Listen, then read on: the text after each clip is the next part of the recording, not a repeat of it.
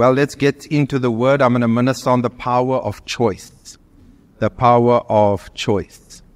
So let's pray. Father, thank you for your word. We receive it with thanksgiving. Thank you for revelation that will flow freely. I pray that my message will not be set forth in persuasive, enticing, and plausible words of wisdom, but in demonstration of the Holy Spirit and power, a proof by the Spirit and power of God operating on me and stirring in the minds of my hearers their most holy emotions, and thus persuading them. I thank you that our faith does not stand in the wisdom of men, but in the power of God. So it's not by might nor by power, but by your Spirit, and we're always careful to give you the glory and praise for what you will do in Jesus' name. Amen. So, yeah, I've preached on this many times before. Powerful message, the power of choice. And it's important for us to really get this in your spirit, the revelation of it, because um, it will keep you on the right path for many years to come if you apply it correctly.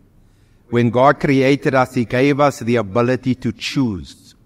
He gave us the power of choice. Our lives are framed by the choices we make every day. From the moment we get up in the morning till we go to bed at night, we make hundreds of choices throughout the day. And you know what I discovered? That there is no such thing as luck, good or bad. No good luck. No, no, if you never studied, it's no good luck. You either studied or you never studied. You see, in fact, I've taken that term out of my vocabulary. I don't use it anymore. Why? Because the word luck comes from the word Lucifer. And the world of the spirit doesn't operate on luck. It operates on choices. When you make good choices, things turn out good. When you make bad choices, things turn out bad. Amen? Some people say, why do bad things happen to good people? Because good people make bad choices which causes them to end up in a bad place. Now, I'm not talking about where we experience trials, tribulations, opposition, challenges, because we're living godly, we pursuing the right thing, we're standing on the word. I'm not talking about that. I'm talking about people who don't take responsibility for the choices they make, and then when things turn out bad, they blame God and they blame others, but it's the choices they made that landed them up there in the first place. Amen? Are you here? You still love me? Amen. Amen. Say amen. But it's important for us to understand this because there are too many people who, the Proverbs 19.3 says that um, people ruin their lives and then blame it on God. They make foolish decisions, choices, and then when things doesn't work out, then they blame God. But the world of the, listen to me, and also this, the world of the Spirit doesn't operate on what you mean. Oh, I didn't mean to say that. It doesn't operate on what you mean. It operates on what you say. So be careful what you say. No, I didn't mean to say that. Then if you didn't mean to say, then why did you say it? Amen. So you and I must become more skillful with our decisions, with our choices, and with our words and what we say. Amen. So it's important that there's no such thing as luck, good or bad. So, um, your quality of life today is largely a product of the choices you made yesterday. And the choices you make today, the words you speak today, the thoughts you think today, the, um, the people you choose to associate today with will determine your quality of life in the future. Show me your friends and I will show you your future. In Proverbs 12:26 it says the righteous should choose his friends carefully for the way of the wicked leads them astray. So you and I must choose our friends wisely. Amen. Hang around people who are stronger than you spiritually, if they let you. Amen. I'm not, because they, and then even if you feel uncomfortable, even if you feel like you're out of place, just sit there and listen to them and let their strength pull you up to a higher level. Not only spiritually, maybe with business, maybe even just with older people who are wise. Just sit and be quiet and listen to their wisdom and their experience and watch how they pull you up to a higher level. Amen. Are you here? Don't be so quiet on me, man. Are you here? Say amen, pastor. So praise God. So you must be, listen, you must be able to make choices and decisions without being influenced by others. We cannot allow our choices and our decisions to be influenced by, by friends or social media or by our past. We must make these choices and decisions without being influenced by others. Sometimes we are more concerned with what, with what others think of us than what God thinks. So we worship at the altar of acceptance. But in trying to be accepted, there is the danger of compromising the very things we are called to stand for. Amen. In John 12 verse 42 to 43, it says, Nevertheless, even among the rulers, many believed in him, in Jesus, but because of the Pharisees, they did not confess him, lest they should be put out of the synagogue, for they love the praise of men more than the praise of God. You and I must love the praises of God more than the praises of men. Amen. Choose God. Choose life today. Amen. Listen to me. When you are in a compromising situation, amen, that's not the time to become weaker. That's the time you get tougher. That's the time you stand your ground. Because whatever you compromise to keep, you're going to lose anyway. So you and I must learn to make decisions without being influenced by others. Even if they throw us out, even if they reject us, even if they lie about us, we have to stand our ground. Amen.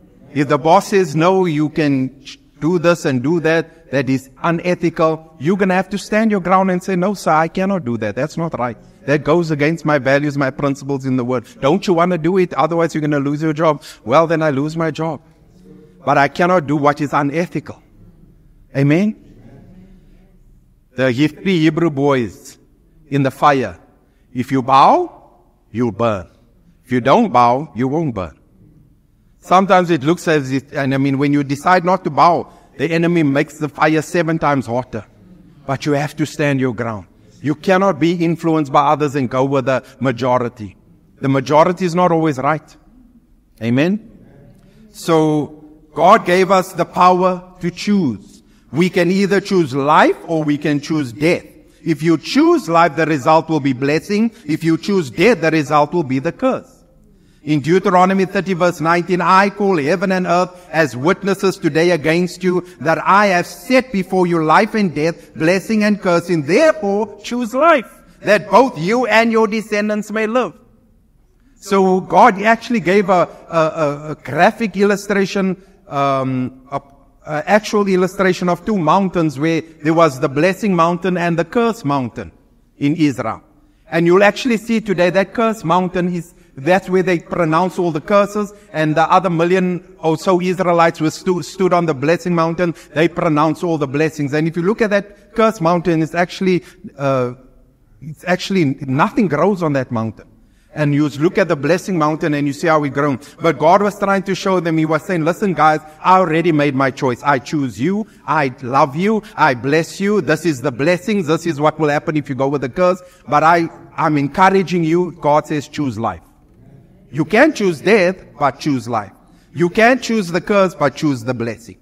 And so every day there are hundreds of choices that is set before us that you and I must be aware of to choose because many people today are blaming God, they blaming the government, they blaming parents, they blaming their color of their skin, they blaming everybody but not taking responsibility for the choices they made that landed them up there in the first place. And you and I must take responsibility. Amen?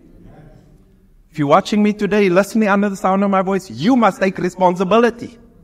Because many people are blaming others. Amen. So we say choose life. Amen. We're going to choose life. We're going to choose blessing. So the choices you make today do not only affect you, but they affect your descendants, your children. Do you know that? So be careful how you choose. Be careful how you choose because they affect your children. Choose life. Choose blessing. Now, if you are a parent and you've made some bad choices in the past that has affected your children in a negative way, then don't live in condemnation. You can make a new choice. You can pray for them now. You can love them. You can bless them. But don't live in condemnation because that is not of God. Amen. But it's so important for us who are parents to choose life. and make sure, you know, because many times the parents want the church to resurrect and bring life what the parents are putting to death at home. No, you must go to church and sort yourself out. No, you must start serving in the church. No, the answer is not serving in the church. You must first go sort out and repent for that. So we must make sure that we live right at home and, and be an example. Amen. I'll sew you back up today. I know it's a bit tight, but it's right. I'll sew you back up before you leave. Now listen, uh, Joshua 24, 15. Now, and if it seems evil to you to serve the Lord, choose for yourselves this day whom you will serve. He was telling the, the Israelites. Whether the gods which your father served that were on the other side of the river or the gods of the Amorites in whose land you dwell. But as for me and my house, we will serve the Lord. Joshua said, listen guys, you must make up your mind who you're going to serve. You're going to serve those gods or those gods here where you're living. But I'm telling you now already, I made my choice. As for me and my house, we will serve the Lord. That's the kind of attitude you and I must have. As for me and my house, we're going to serve the Lord. I don't care if there's other gods around us, Amorites, serving other people, serving the God of money, serving the God of uh, uh, worshiping at the altar of acceptance. As for me and my house, we're going to serve the Lord. As for me and my house, we're going to do what's right. As for me and my house, we're going to honor God. As for me and my house, we're going to submit to the Lord. We choose life. We choose blessing. Amen. So God leaves the choice up to us. And if you are not sure what to choose, He tells you to choose life. So God cannot make the choice for you. He will inspire you. He will empower you. He will minister to you. He will speak to you, but He will not force your hand and He cannot choose for you. It's up to us to choose life. And then He'll back us to completely to the hill with His power if we choose His way. Amen. You are as close to God today as you've chosen to be. Others out there are as close to God today as they've chosen to be. If you draw near to me, God says, I'll draw near to you. So it's everyone has a choice. You and I must choose life. Choose blessing. Amen. God can't decide for you, but once you've decided, He'll back you completely. Listen, everyone has the right to choose. But once you've chosen, you become a servant to that choice. So be careful how you choose. Everyone has the freedom to choose, but you don't have the freedom to choose the consequences of your choice. So be careful how you choose. Amen. And then some people say, yeah, but some of the things that have happened to me when is not a result of my choices. I never asked for this. I never chose that and look at where I am. I agree with you 100%. But how you respond now to what happened to you is your choice. You can choose to be better or better. You can choose to blame or you can choose to forgive. You see, everyone has a right to choose. So choose life. Choose life. Amen. We must be able to carry our own bag. Amen. Here's your bag. In this bag is your thoughts, your feelings, your actions, your words, your choices, everything. You see, this is, I can carry this bag. This is my responsibility. Now, what people want to do is, no, you carry my bag for me. You decide for me. What do you mean I must decide for you? I mean, think about Jonah on the way. He said, no, um, guys, if you, uh, he said, I know I'm the, re- I'm the cause of the storm. Just throw me over and the sea will become calm for you, will become calm for you. Just throw me over. Now, why must I throw you over if you know you're the problem? Why don't you jump? Because now you want me to throw you over so I can feel bad for throwing you over. But, you, but you're chasing the, the reason for this season. No, really, people like to blame everybody for the, you know. I mean, you chose life. You chose to come to church. Everyone had that choice. I mean, I'm not condemning people who don't. I'm just saying everyone makes choices. Amen. You choose, we choose to forgive. We choose to love. We choose to let go. We choose to give. We choose to tithe. We choose to honor. And then people get mad when things don't work out in their lives. Amen. Listen to this. I love this scripture, 1 Kings 18 verse 21 in the message. Elijah challenged the people. How long are you going to sit on the fence? If God is the real God, follow him. If it's Baal, follow him. Make up your minds. Make up your minds. People must make up their mind. Are you going to serve God or are you going to serve the devil? Baal. Amen. We choose life. We're going to serve God. Amen. We're going to choose. That's, we've made up our, so choose life. Choose forgiveness today. Choose blessing. Choose God's word. Choose obedience. Choose humility. Amen. It's important. Look at, listen, listen to the two examples of the power of choice. Jonathan Edwards was a great preacher. In fact, he was known as the father of the Great Awakening in the U.S. His father and great grandfather were also preachers of the gospel. So with Jonathan Edwards, when they traced more than 400 of his direct descendants, this is what they found. Two vice presidents, six congressmen, 14 university presidents, 100 professors, 100 ministers of the gospel or missionaries, 120 were lawyers, judges, and doctors. They also found many authors, editors, and journalists. Almost every major American industry had an ancestor of Jonathan Edwards involved in it. The power of choice. Look at how his descendants. Now look at the uh, this was, they trace back the family tree of a man called Abraham Jakes, who also lived in the latter half of the 1700s. Jakes was a murderer who never believed in God. Among the over 1,200 direct descendants traced, an astounding pattern was found. The results showed 400 alcoholics and drug addicts, 810 paupers, 130 convicted criminals, 80 habitual thieves and pickpockets, and seven murderers who were hanged or died in an electric chair. Of the 1,200, only 20 ever learned a trade, and half of them learned it in prison. So of those two examples should prove to us that the choices we make not only affect us, but the future generations to come. Be careful how you choose. You and I must be careful how we choose. We can choose life. We can choose blessing we can choose to live honorably in the midst of a dishonorable society. Amen. And you know what? My prayer for you this morning is that in your darkest day and your darkest moment, in your garden of Gethsemane, where you are under so much attack, I pray in that moment you will choose life and not death.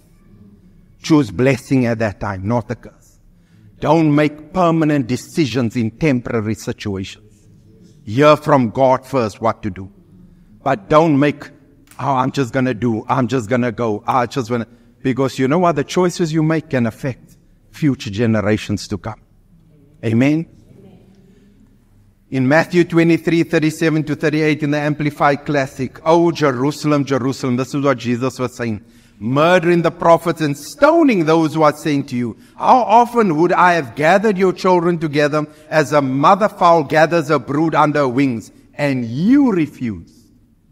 Behold, your house is forsaken and desolate, abandoned, and left destitute of God's help. Was that God's will for them? A thousand times no. It wasn't God's will for their house to be left desolate and forsaken and without His help. It was his, he, he's saying, guys, I want to gather you like a mother fowl gathers her chicks and protect you and provide for you and watch over you. And it says, but you refuse. So now, because you don't want me, you have to, then your house will be left desolate, forsaken, without God's help. How many times, even as pastors, we try to help people, all the prophets. It says there, murdering the prophets and stoning those who were sent to you. How many people we, we get sent to them? God sends them the answer. God sends them help. God sends them, listen, come this way, turn this way. But they refuse. You see, because God can't choose for them. God can't choose. They still, you can take the, the horse to the water, but you can't make them drink. Amen. So I'm just saying to you, it, it, it, it challenges you you as a person to make right choices. And second part is also as a parent, as a leader, as a person, it also should re- release you and relieve you of that pressure of trying to be everywhere, do everything, help everyone that doesn't want help. You must let go and let God take care of that situation for you. And let God and enjoy your relationship with the Lord. Because many times we, Job kept on sacrificing, kept on sacrificing. Perhaps his children had, had sinned. He wasn't even certain. And he, he never lived his life because he kept on having to sacrifice. So I'm not saying we, we ignore, but I'm saying you also need to know your limits. This is where I end. This is where you begin. Amen. This is where I end and this is where you begin. So, but how many of you are ready? Say, say good news. Here's some good news. Say good news, Pastor. Good news. Here's good news. The good news is your last choice is not your last choice. You can make a new choice that can set you on a new course that will create a new cycle of blessing in your life. Do you know the prodigal son made some bad choices? He decided he was going to party and spend all that he had and his, and his choices landed him in big trouble, but there was a way out. I mean, he never thought he's going to end up with the pigs. He just thought, hey, I can party vanaand met bro. Laat ons loop. You see, the devil only shows you the prodigal son's hotel suite. He never shows you the pig pen where he lands up. He just shows you the nice things. He doesn't show you where people end up with sin. That is why the wages of sin is death. Romans 6:23 The wages of sin is death. The wages of sin is death, but the gift of God is eternal life through Jesus Christ. So so wages means you they they keep on sinning, they keep on sinning, they keep on sinning and then one day payday comes. Judgment comes. So judgment is like this. You go into Durban, the signpost says Durban 600 Ks. Durban 500 Ks. Durban 400 Ks. If you don't want to end up in Durban, you better turn around and go that way. Because you see, judgment, death, 500 Ks. Death, 400 Ks. If the people don't want to end up in death, they better turn around. Because judgment's coming. Wages of sin comes. And it pays and it's horrible. Then they blame God. I'm telling you, I, I, I know of a particular person. I mean, of, I'm just thinking of this particular person. I actually saw the effects of sin and the effects of the choices he made, how eventually when we visited him and his home, it was like a complete, it was like Kerrsville in that place. Used to be flourishing and green and beautiful and lovely. But because of the choice he made that caused his family to be broken up, I'm telling you, by the time we came to encourage him, it was so bad there. I, thought like, is this a real? It looked like day, night absolute curse. I'm telling you, and, and people don't connect the dots because it doesn't happen overnight. I mean, think of it. The Bible says that adultery and, and, and going with other, you know, fornication and prostitutes is, will kill you. Obviously, we recognize and know that it's, it brings death. But many people don't realize that it doesn't bring death immediately. Otherwise, the whole world will be less populated by now. If it happened immediately. But what happens is only a later on, they begin to see, you, here's the effects. And they don't connect the dots. They don't see. So I'm not being negative. I'm being challenging because people need to wake up to this. They can't keep thinking you make, now the good news is if you make a new choice, you can get on a new course. But you can't continue going down that road and then think they're going to end up in a good place. Amen? So look at this, this uh, Luke 15 with the, the prodigal son, verse 11. Then he said, a certain man had two sons, and the younger of them said to his father, Father, give me the portion of goods that falls to me. So he, the father, divided to them his livelihood. He made a choice. Father, I want my portion of my inheritance, and I'm going now. The father never stopped him. He let him make his choice. And he divided the inheritance. Verse 13. And not many days after, I want you to take note of all the choices in this passage. And not many days after, the younger son gathered all together, journeyed to a far country, and there wasted his possessions or his inheritance with prodigal living, parting, wasted living. And, but when he had spent all, there arose a severe famine in that land, and he began to be in want or in lack. He spent all. Then he went and, then he went and joined himself to a citizen of that country, and he sent him into his fields to feed swine. So they made another choice. he never, God never joined him. He went and joined himself to a citizen of that country. And that man, because of association, caused him to end up living with the pigs. Go feed my pigs. And he, that's the choice he made. And you know, Jews have no dealings with pigs. And look at where this man is now, in a pigsty. He, so he made a choice to join himself. Verse 69, he would gladly have filled his stomach with the pods that the swine ate and no one gave him anything. You know, no one gave him anything. You know why? Because when he had all, he never gave to anyone. He spent all. He spent all his money. He never thought about tithing. He never thought about blessing others and giving others. Because when you see sowing seed prevents lack in your future. But those who withhold their seed and keep only end up with more needs. So he spent all he never had. And there was, and then the famine hit the whole land. So it's important for us as Christians, as people, to save, to put away for a rainy day. Amen. Are we here? Say amen, Pastor. Don't shout us down. Those, you know, in marriage, you get the savers and you get the spenders. Which one, which one are you? Husband, wife. Are you the spender or are you the saver? Amen. Amen. Like I say to you, you know, uh, um, marriage is a workshop where the husband works and the wife shops. Amen. And then I put it on Facebook. A other lady commented, she said, Oh, Pastor, it's turned around now. Now the wives must work and the husband is shopping. Amen. Verse 17, but here's a new choice he made. But when he came to himself, came to his senses, that's the most powerful scripture in that, in this passage. He came to his senses. He realized, what am I doing here?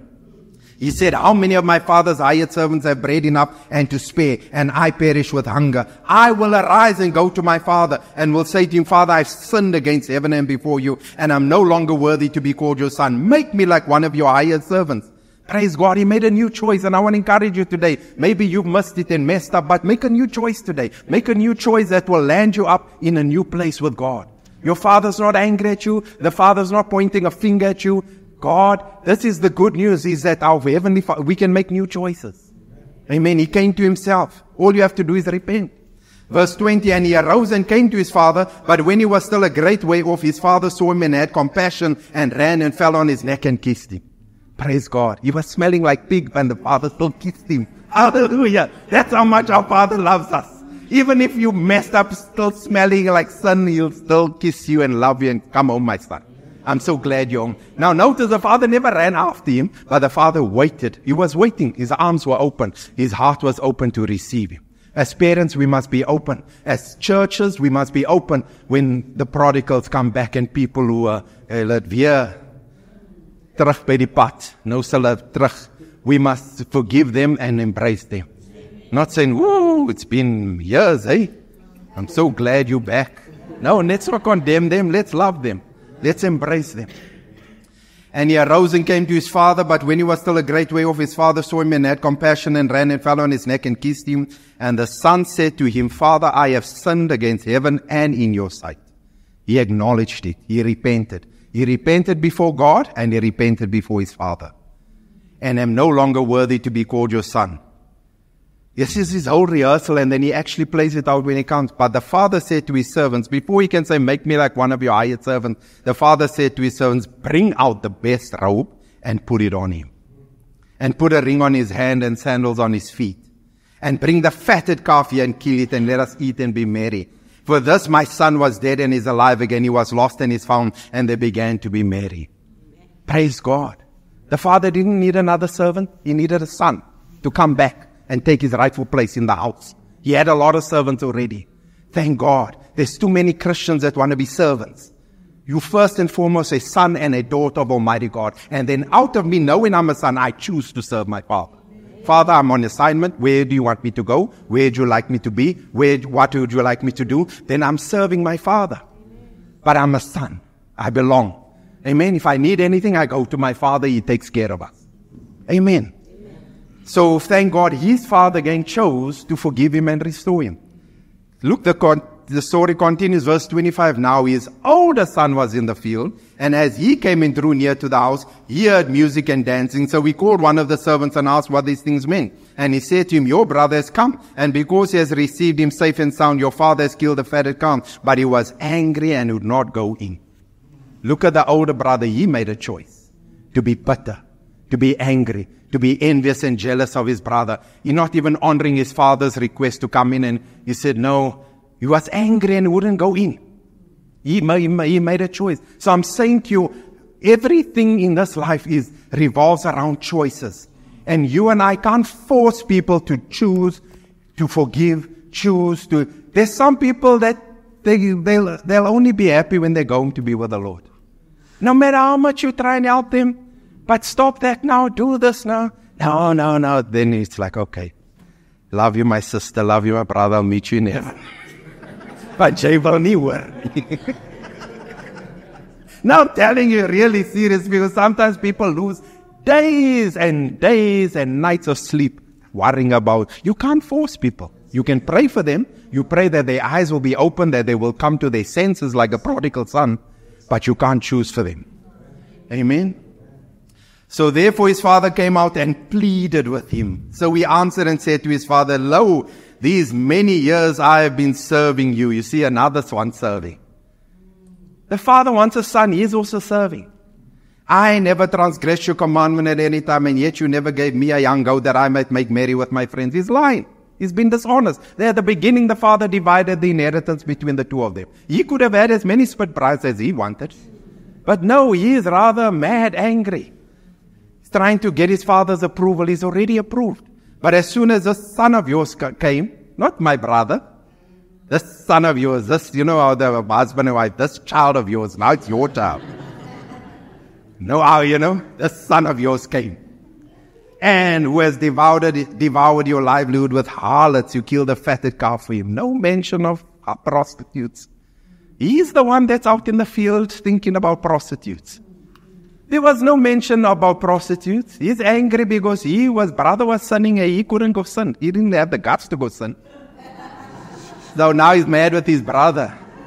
That could be just so young. Look at you. You were still not serving the Lord. Every week I'm here serving at Vessel Church, setting up the sound. You just come back and just like that, you get blessed with a car and angry. Watch your heart.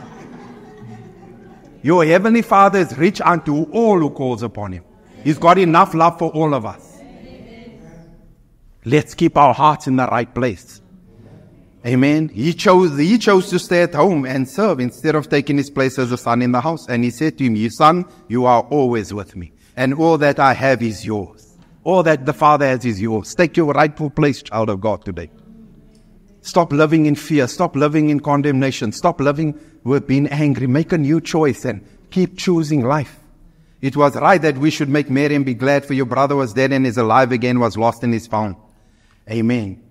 So listen to me. Our God is the great rectifier, is the great changer, and is the great one of grace that can turn your mistakes for your good. He's a, he's a good God. He can turn it around. Amen. I mean, yes, David, he committed adultery with Bathsheba. He messed up. He had his husband Uriah killed. But when Nathan confronted him, the prophet, he repented. He never said, Oh no, you know, it's Bathsheba. She shouldn't have been there, bathing there, that I could see it. He said, No, Lord, forgive me, I sinned. That's all he did. That's what you God wants. Just repent, I sinned. Like this prodigal son, I sinned. Not blame anyone, no, I sinned. In, in, with Saul, he pretended to be repenting, but he never repented. He said, No, it's because of the people. That's why I never killed that man. So it's important for us to take responsibility. 2 Corinthians 5 19 to 20, last scripture. It was God personally present in Christ, reconciling and restoring the world to favor with himself. Listen, not counting up and holding against men their trespasses, but canceling them. God has cancelled your sins. God is not holding anything against you. He has forgiven you. The key now, you must forgive yourself for the mistakes you made, for the choices that landed you up in that place. Just repent, but don't live in fear and in condemnation. God has forgiven you. He's not counting up. He's not an emotional bookkeeper who's keeping record of all your wrongs. No, He's forgiven you. You need to forgive yourself and get up and committed us the message of reconciliation of the restoration to favor. So you are forgiven today. Say, I'm forgiven. Amen. Stop blaming yourself. Stop blaming others. Stop blaming everyone. You and I must take responsibility. Just those who are listening under the sound of my voice, you must take responsibility. And then when we do, we can make better choices that will land us up in a better place. Amen. I mean, here's my wife. I mean, only now she recently, she's learning to submit to me more and more, flowing. Amen. But I mean, it was tough. You, you, you, you. Telling you marriage is not for sissies, man. You, you, you, you. Married 28 years in December. She keeps me going, yo. yo. But I'm telling you, every time, both sides, we have to choose life. Amen. We have to say, okay. I mean, Bobby, that's, she has to choose life.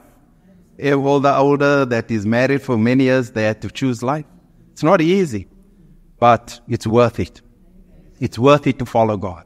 It pays to follow Him. It pays to obey Him. It pays to serve Him. It pays to stay the, stay, stay focused and place, stay where God's planted you and placed you. Amen. And, and, and you begin to see the results of your choices in time to come. So let me close with this quote. Even though you can't go back and make a brand new start, anyone can start from now and make a brand new ending. Hallelujah. Amen. That's good news. Amen. We can start from now and make a brand new ending. Come on, let's stand this morning and let's pray. Praise God. Hallelujah. Thank you, Jesus. So today, God's not holding anything against you. God's just challenging us and encouraging us to make sure that we choose life and choose Him. Amen. That both you and your descendants may love.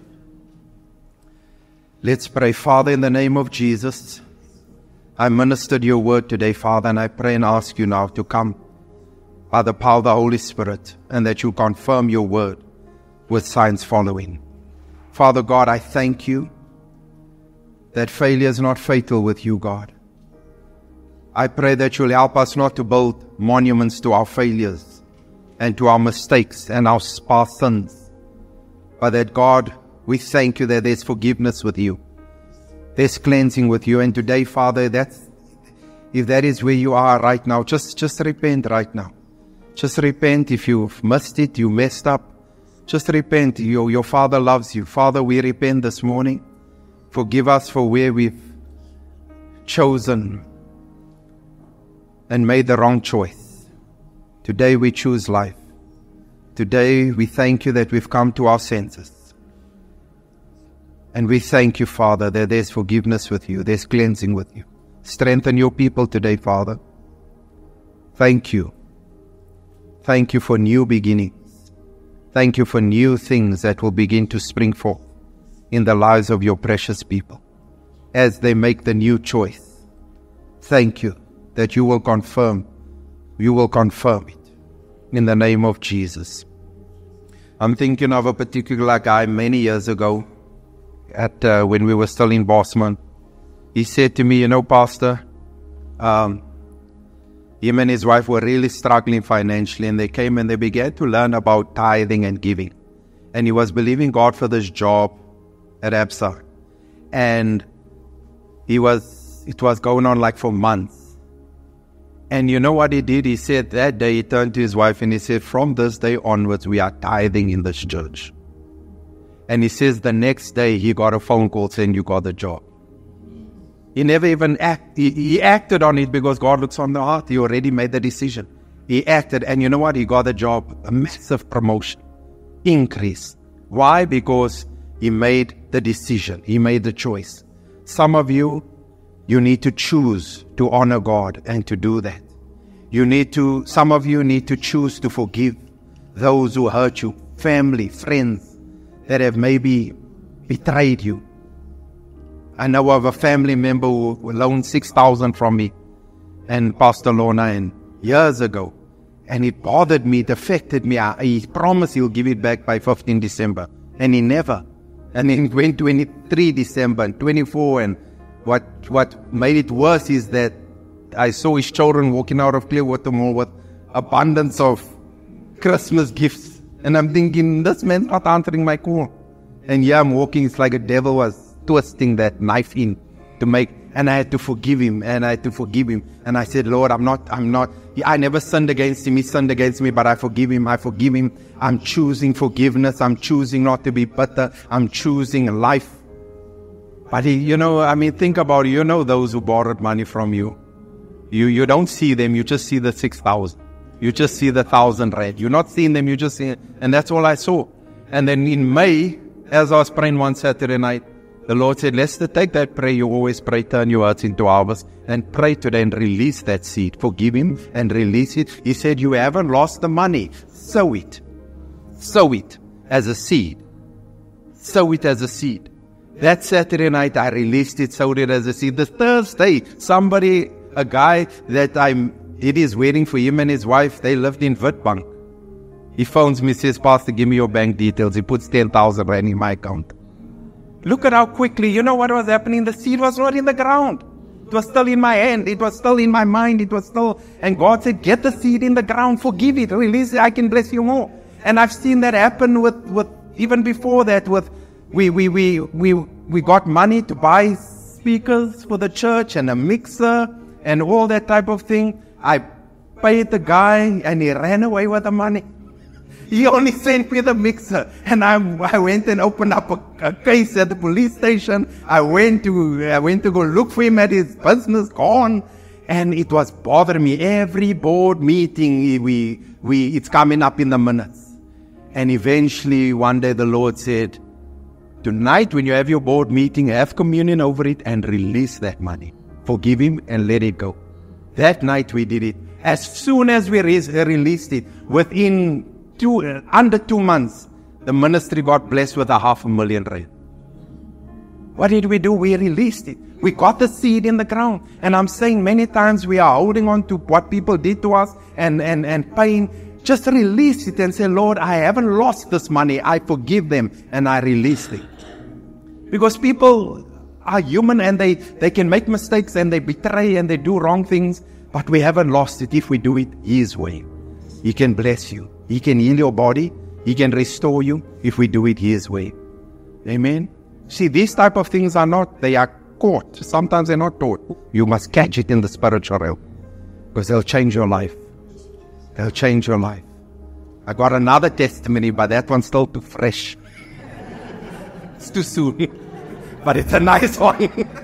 a nice one. But that one we'll, we'll maybe tell you next year, you know.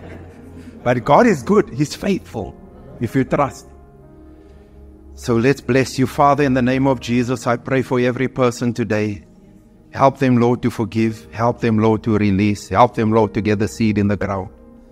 And help them, Lord. Thank you that we, have, we agree with them that they will see a harvest of fruitfulness in their lives because of making the right choice and the right decision.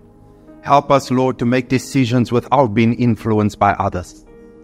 Help us to stand our ground.